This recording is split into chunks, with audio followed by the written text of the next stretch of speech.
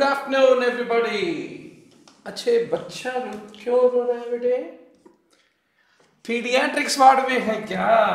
ओ NEET PG में paediatrics का ten marks होता है ten marks in paediatrics and to master this ten marks in paediatrics आप reading room में बैठ के अगर पढ़ाई करें तो जल्दी भूल जाओगे। इसलिए आप कहा जाना है? पीडियाट्रिक्स वार्ड में जाके बैठो और पढ़ो, फटाफट रिवीजन हो जाएगा। Good afternoon everybody this is doctor Murli Bhardwaj today is September 10th we still have about 14 weeks to master the basics and go for the NEET PG to become the topper. I'm your reading roommate, classmate, YouTube mate, WhatsApp mate to be with you every day to inspire you to prepare for the NEET PG. Now, let us make the great beginning. A little we will next 10 15 minutes maybe we will revise some uh, important uh, items bullets in uh, the pediatrics. What are the pda dependent congenital heart disorders?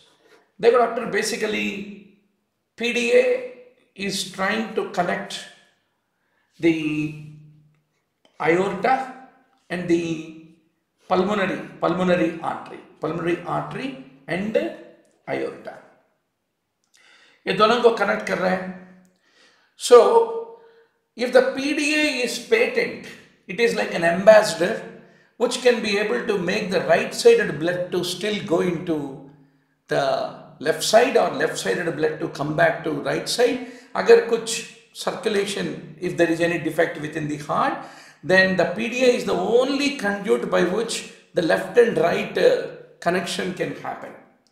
Now, what are all the conditions which require the PDA? They are called PDA dependent congenital heart disorders. Coarctation of aorta. Aorta narrow ho gaya or it got uh, blocked. So, PDA is the only way by which the circulation can re-establish.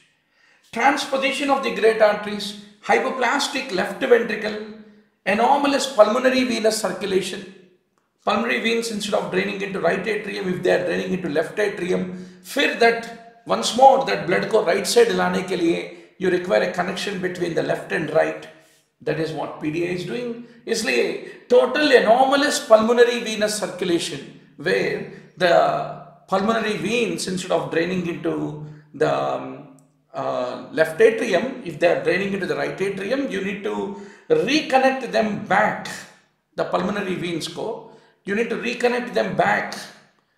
For that, you require left atrial, left and right sided connection to be patent. So, that is a PDA dependent condition. Similarly, tricuspid atresia. If there is a tricuspid atresia, the right atrial blood unable to go into right ventricle into pulmonary artery. So, that is the reason the right sided uh, circulation got blocked. Blood is unable to go to lungs to get purified. So, there should be some connection that is the PDA which once more connects the right and left and then try to get the blood back uh, towards the left side, uh, towards the lungs in order to get them purified is what you need to remember. Once more summarize doctor, coarctation of aorta, transposition of the great vessels, hypoplastic left heart, total anomalous pulmonary venous connection and tricuspid atresia are called PDA dependent congenital heart diseases, one of the favorite question of the examiner. Now doctor, congenital syphilis. What are you going to remember? Penicillin therapy. It is curative and it prevents the development of late manifestations.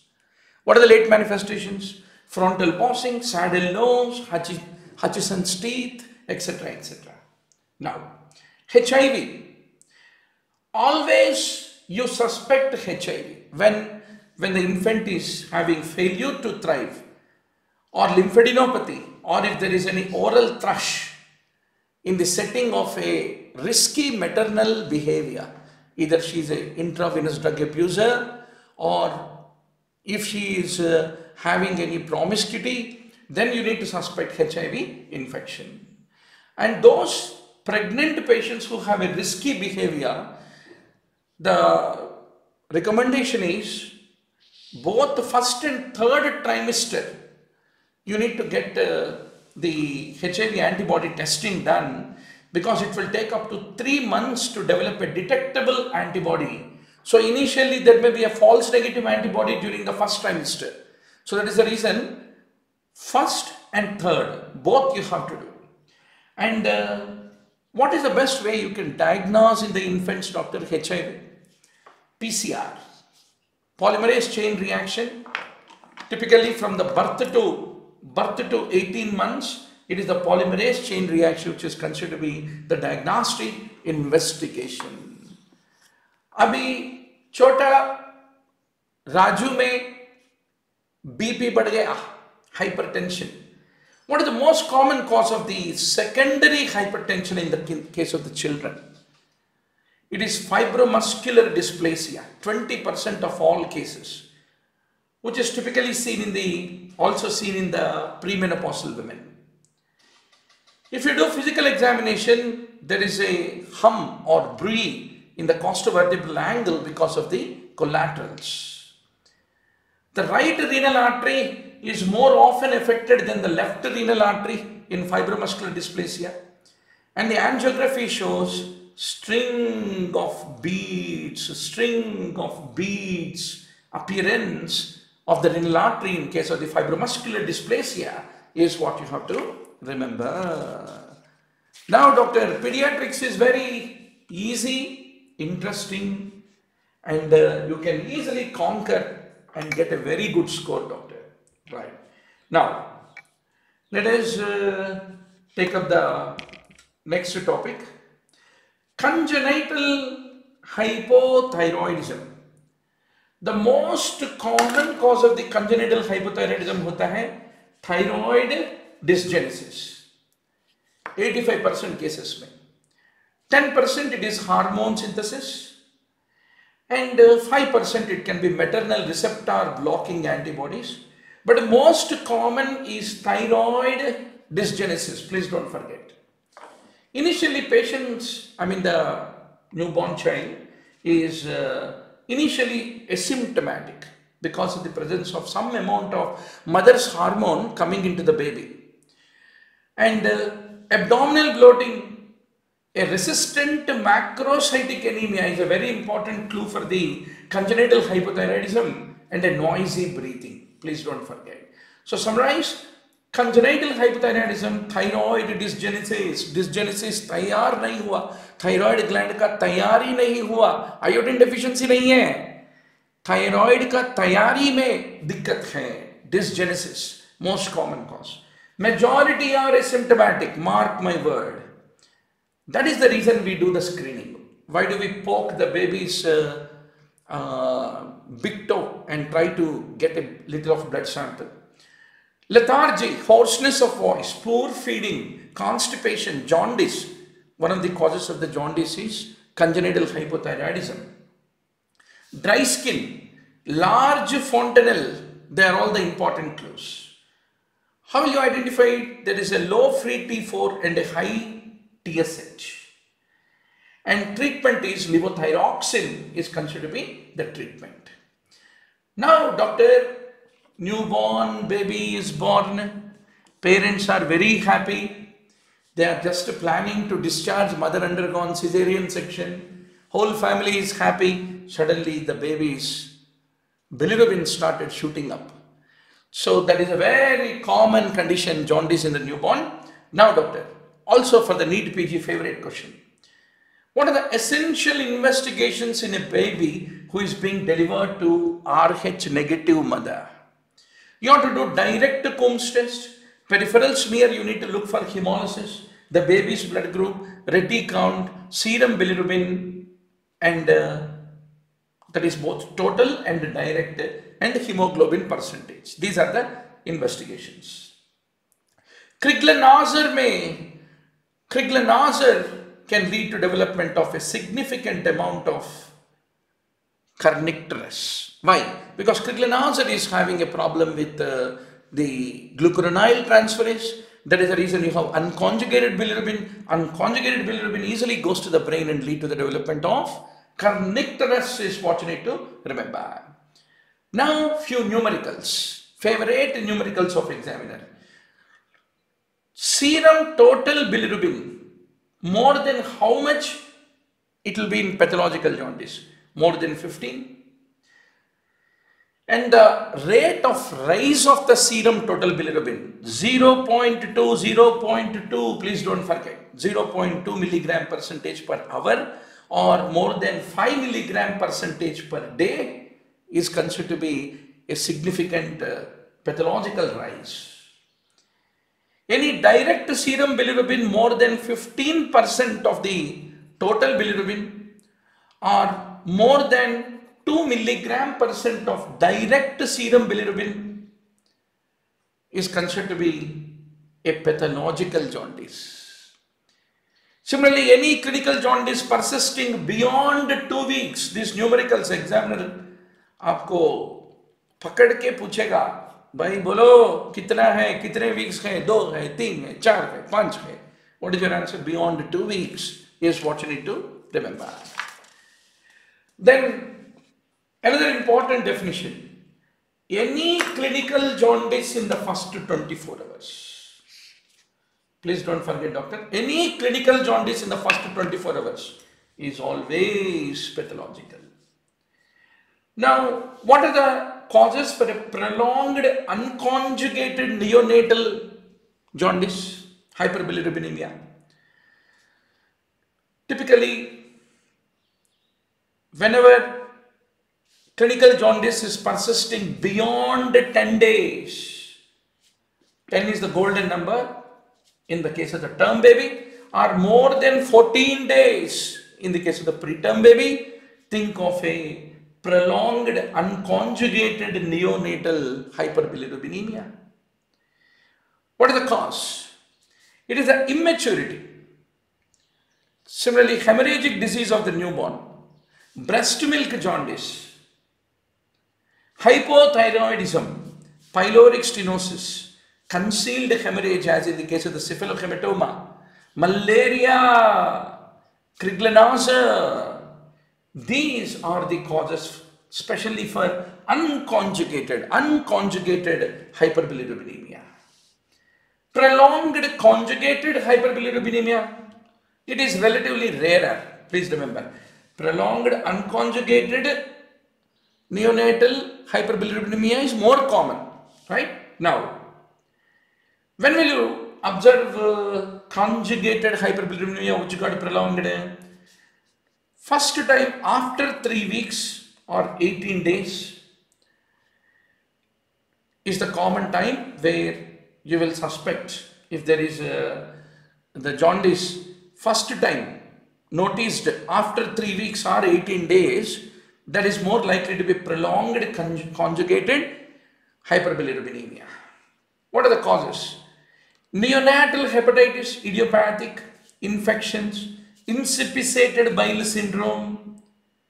Similarly, certain malformations, extrahepatic biliary atresia, Zellweger syndrome, Alagille syndrome, any metabolic disease, very important, total parenteral nutrition and uh, chromosomal disorders. They are the causes for the prolonged conjugated, conjugated hyperbilirubinemia. Barabar? Now, physiological jaundice. Whenever there is a ABO incompatibility, there is an exaggeration of the physiological jaundice. Generally for physiological jaundice, there is no treatment required. And always the rule is you advise to increase the breastfeeding if there is physiological jaundice uh, is considered to be the way to handle. Abhi bhaiya, four terms hai. Four commonly sounding terms मगर उस, वो four terms के बीच में ज़मीन आसमा फ़र्क है। Breast milk jaundice breast feeding jaundice breast feeding failure jaundice not for three ये तीनों के बीच में सटल डिफरेंसेस को अगर हम रिकॉग्नाइज नहीं कर पाए तो tomorrow's examiner will catch us. So let us be very sure.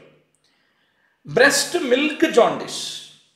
Fundamentally how does it present? It presents like an unconjugated hyperbilirubinemia in a exclusively breastfed babies. There is a prolonged unconjugated hyperbilirubinemia in exclusively breastfed babies. You get breast milk jaundice. When will it develop? It develops after three days and persists for two months at times. And what is the cause for it, doctor? Basically, breast milk में एक पदार्थ होता there is a substance called 3 alpha 20 beta pregnanediol. This is the one which is preventing the conjugation of the bilirubin. And that is the reason you get the breast milk jaundice is what you need to remember. And these babies will form colorless urine and a golden yellow stools classically.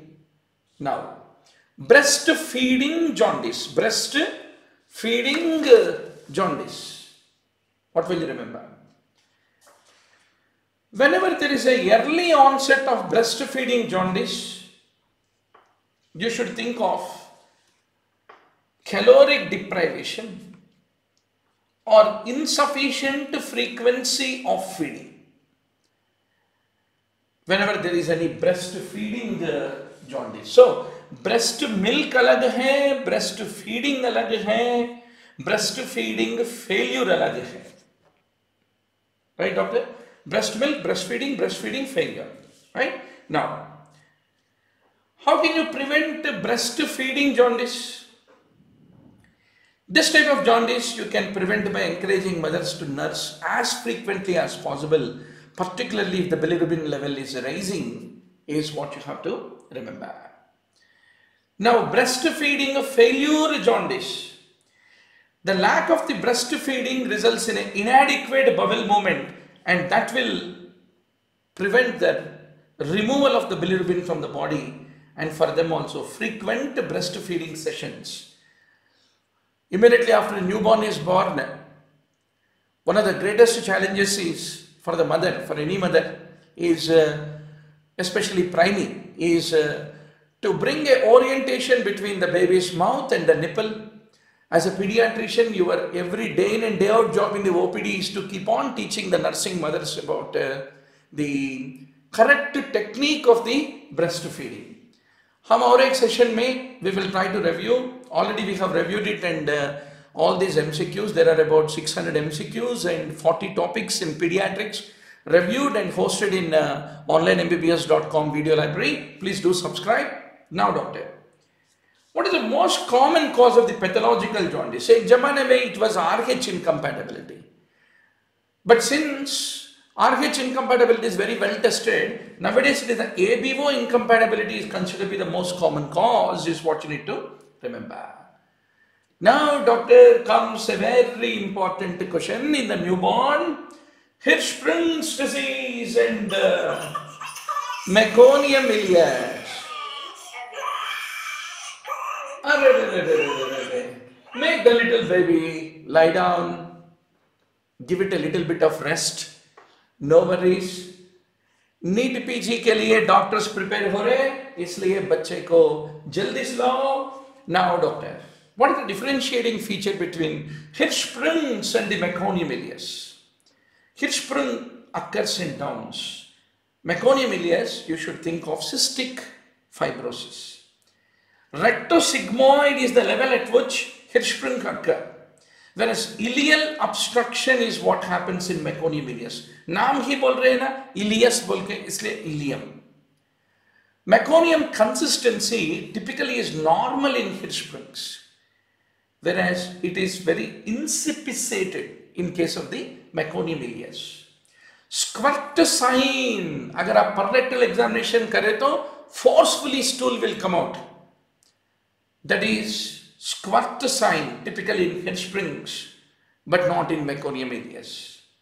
So fundamentally, if you look at the Hirschsprungs disease doctor, in a older infant and children, it is the anorexia constipation, lack of a physiological urge to defecate. Why? There is a problem in the neural plexus. A ganglionic segment is there, which is aperistaltic. That is the reason in Hirschsprung's there is a lack of physiological urge to defecate, rather there is a dilatation. If you do digital rectal, digital rectal examination, there is an empty rectum, empty rectum and the stool is palpable higher up in the colon. आप सबको मालूम है colon becomes the rectum. So rectum is empty, stool is there situated in the colon. And uh, there is an explosive passage of the stool upon withdrawal of the examiner finger. That's called blast sign. ये होता है Hirschsprung's disease में that is called squirt sign is what you have to remember. So doctor, both, if you take both Hirschsprung and Meconium ileus, in both of them the parrectal examination may empty rectum है, But anal tone is increased in case of the Hirschsprungs. That is what you need to appreciate. Both Hirschsprung and the um, Meconium ileus, they have a narrow colon, but it is usually the rectosigmoid which is narrow in Hirschsprungs and uh, uh, it is diffuse in case of the Meconium ileus. Now doctor, let us talk about the malrotation in the neonate. What is the most accurate and the fastest method by which you can identify the malrotation doctor in a neonate? Barium swallow, barium swallow. The ligament of Treitz typically will be there on the right side of the abdomen. That is malrotation or it will be corkscrew if it is volvulus. If you try to do ultrasound and think you can detect uh, using ultrasound, you are mistaken. Ultrasound has a very high false negative rate. For that matter, barium enema, barium enema also is not good because it has a both false positive and false negatives. That is the reason the neonatal malrotation co, if you want to detect, then barium swallow is the fastest and most accurate method, one of the favorite questions of the examiner. Now, doctor, neonatal seizures, let us have a quick uh, summary. Tonic seizures, they have the worst prognosis. If I ask you a question, what is the most common biochemical cause of the neonatal seizures associated with hypoxic ischemic encephalopathy? Hypoxic ischemic encephalopathy में most common biochemical cause बोल के examiner पूछे तो आपका answer होना है hypoglycaemia but isolated biochemical abnormality leading to the neonatal seizures means your answer should be hypocalcemia. So, हर एक टॉपिक में doctor five six twisting twisting points रहता है. एग्जामिनर वहीं आपका कान पकड़ेगा. But you are all the students of doctor Murali Bharadwaj मैं बोल देता हूँ पद्म व्यूह नियोन द नीट पीजी एग्जामिनर का पद्म व्यूह का सीक्रेट क्या होता है? मैं आपको पढ़ा लेता हूँ। ठीक है? Now what the prognosis of a hypocalcaemic seizures always hypocalcaemic seizures prognosis is excellent is what you need to you have to treat by giving intravenous calcium gluconate and while giving you need to do a cardiac monitoring and closely monitor the heart.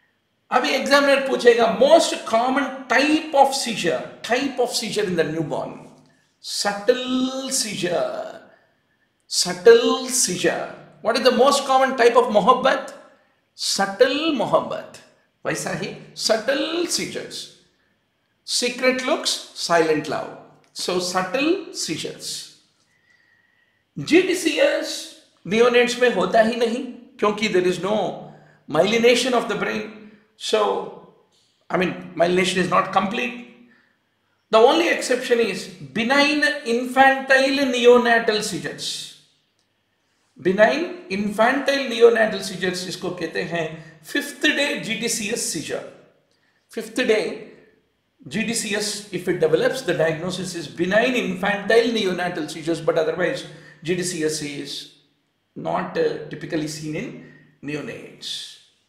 Acha what is the best type of EEG in the first 24 hours after asphyxia? It is the amplitude integrated EEG. What type of EEG is best in the first 24 hours after asphyxia for prognosis?